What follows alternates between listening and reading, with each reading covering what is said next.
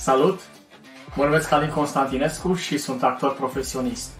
Am 42 de ani, acum la sfârșit de 2022, 1,70 m înălțime și locuiesc momentan în Constanța. În anul 2003 am absolvit facultatea de teatru și film a Academiei de Muzică, Teatru și Arte Plastice din Chișinău, o școală cu profesori formați în metodele de actorie ale lui Stanislavski și care m-a marcat profund. Încă din facultate am profesat pe scenă și în televiziune, unde am moderat două emisiuni de infodivertisment.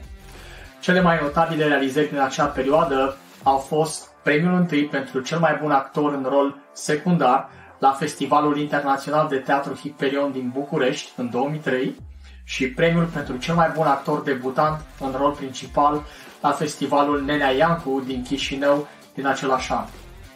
După o pauză de 2 ani, timp în care m-am concentrat pe proiecte umanitare în Marea Britanie, am revenit în România și am colaborat cu mai multe case de producție în proiecte de film și televiziune, alături de actori precum Lance Henriksen, John Rhys Davis și David Hasselhoff.